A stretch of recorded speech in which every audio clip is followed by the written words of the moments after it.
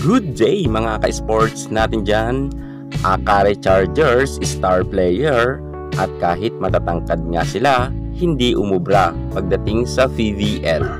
Kung tutuusin, halos all-star ang nasabi nating players ng Akari at halos ang mga players dito ay di kalibre at kilala na pagdating sa larangan ng volleyball.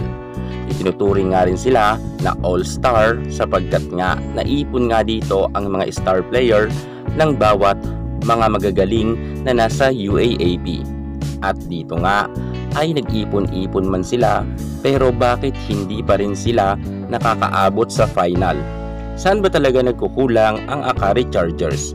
Dahil kahit magagaling ang kanilang mga players, ay ligwak nga sila at nasa mababang standing pa sila pagdating nga sa ranking sa PVL. Yan ang ating pag-uusapan. Kaya kung bago ka muna sa aking YouTube channel, subscribe na.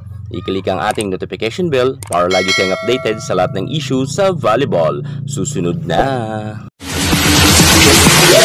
Stars, I'm a fool for your love.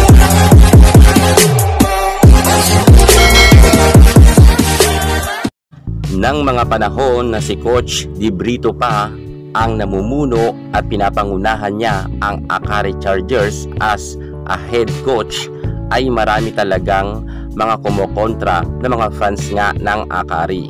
Pero sa ngayon, ganun pa rin ata ang mga fans nila, sinisisi pa rin nila ay hindi lang ang mga players, maging ang coach ngayon na bago ay pinuputakti nga ng mga bashers.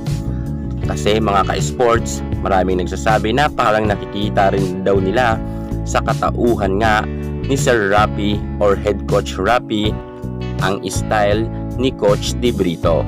Hindi natin maikakaila na si Head Coach Rapi Mosuela ay talagang siya ang tinatarget nga ng mga fans ng Akari Chargers.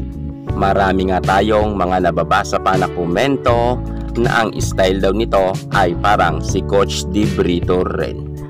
Kung kaya kahit matatangkad nga ang players ng Akari Chargers ay hindi talaga sila umuubra pagdating sa PBL. Kung tutuusin, halos lahat ng mga players dito ay mga kilala na. Nariyan nga ang mga matatangkad nilang players na kung saan mga 6-footer pa subalit nga hindi nga ito nakakapalag sa mga mabababa na players ng ibang team. Kung tutuusin, height is might nga raw, sabi nga ni Coach Di Brito. Yan ang kanyang sinasabi noon, kinakailangan matatangkad daw ang kanyang mga players.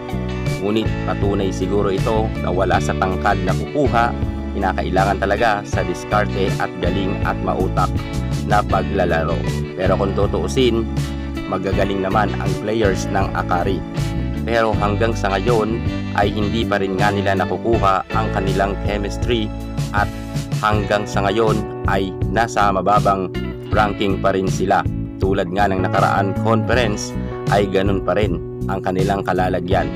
Hindi nga makabuelo-buelo ang mga players dito kahit meron na nga sila ngayon mga bagong nirecruit na magagaling gaya nga ni Gretchen Soltones at si Lynn Domingo.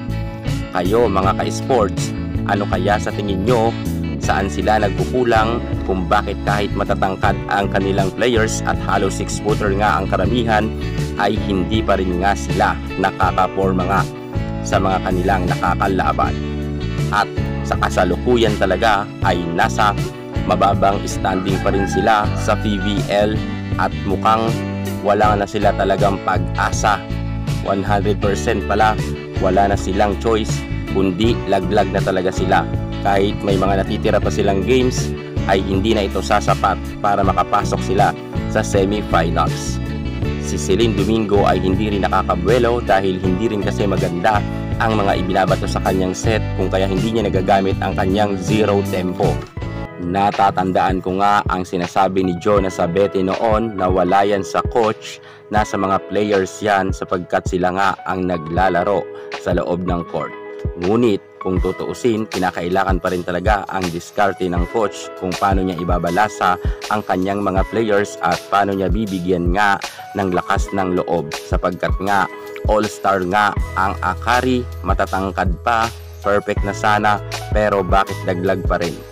Kayo naman ang aking tatanungin. Ano sa tingin nyo? Saan nagkulang ngayon ang Akari Chargers? Kahit sabihin natin na lamang nga sila sa height pero hindi pa rin sila nakakaporma sa mga mabababang players sa ibang team. Comment naman kayo sa baba kung saan nagkulang ang Akari. Yan muna ang pinaka-latest natin sa mundo ng volleyball. Thank you so much. God bless.